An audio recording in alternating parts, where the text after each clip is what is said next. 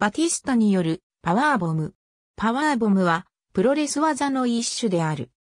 前かがみになった相手の胴体にパイルドライバーの要領で両腕を回し、抱えるようにクラッチして、背中を大きく反らせた反動で、相手の体を肩の高さまで持ち上げ、そのまま相手の背中を叩きつけて押さえ込む。多くの場合は、そのままエビ固めからピンホールの体勢に持ち込む。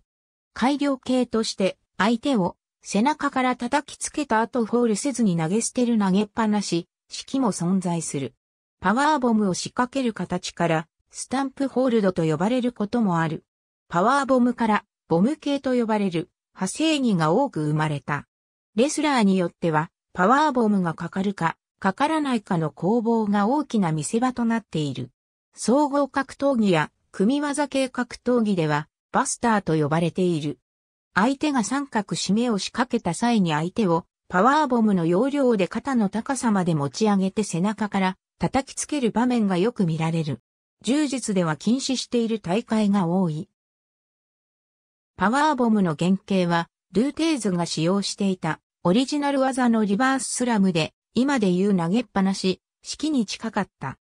日本での初公開は、1968年1月17日の国際プロレスの宮城県スポーツセンター大会であり、テーズ対豊登戦でパワーボムを受けた豊登は失神している。テーズ式、パイルドライバーと呼ばれることもあるがテーズはパイルドライバーを嫌っていた。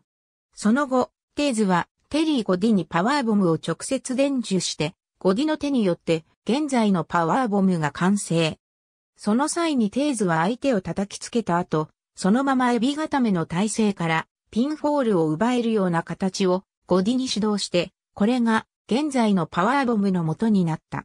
その後、日本では天竜源一郎、アメリカではシッド・ビシャスなどによって広められた。日本において前述のテリー・ゴディに加えて天龍源一郎が使い始めたあたりから使い手が増えた。日本で最初にゴディのパワーボムを受けたのは天竜。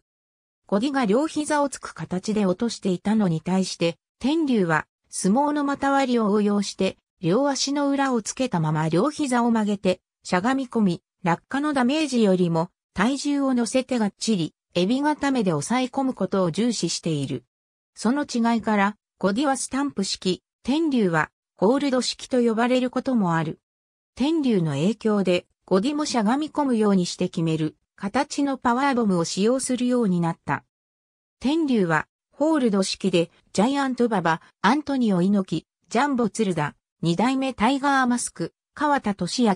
小橋健太、田上明、長州力、藤波達治、武藤敬司、長野正宏、橋本真也、大仁田敦高田信彦などのトップレスラーからピンフォールを奪っている。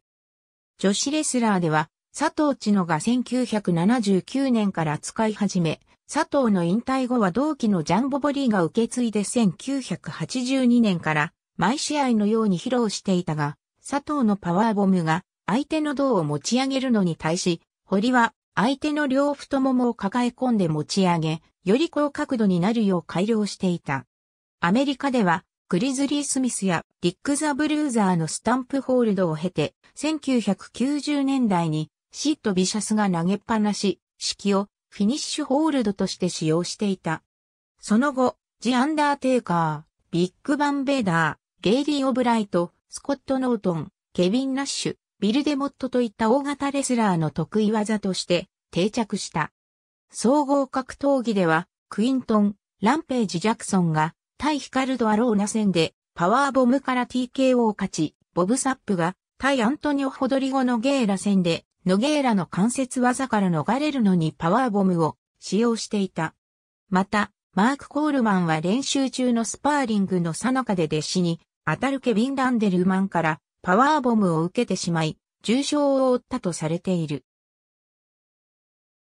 対空式、パワーボム垂直落下式、パワーボム餅つき式、パワーボムサンダーファイヤーパワーボムビッグ、クランチラストライドパワージャックジャックナイフ、パワーボムスリングショットパワーボム振り子式、パワーボムターボドロップ2ターンバックルパワーボム、なだれ式、パワーボムスーパーフリークダブルアーム、パワーボムマイバッハボムバッドラック、フォールポップアップパワーボムトーチャーラック、ボムトルネードボムジャンピングパワーボム倒れ込み式、ジャンピングパワーボムシットダウン式、ジャンピングパワーボムシットダウン式、ラストライドライガーボムスパイラルボムタイガー、ドライバーリバースタイガードライバーブラスタードクター、ボム BT、ボムクロスアーム式、スプラッシュマウンテンピラミッド、ドライバーパワープレートナイアガラドライバーネックハンギング、ボムスカイハイドロップミラクルエクスタシーブルーサンダー、ストレッチボムオレンジクラッシュサイバー、ボムクロスファイヤー鬼殺しタワーハッカーボム、